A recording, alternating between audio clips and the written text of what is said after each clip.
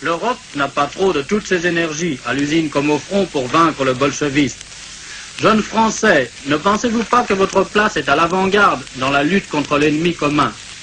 Pour les engagements et pour tout renseignement, adressez-vous 12 rue Aubert et dans les permanences régionales.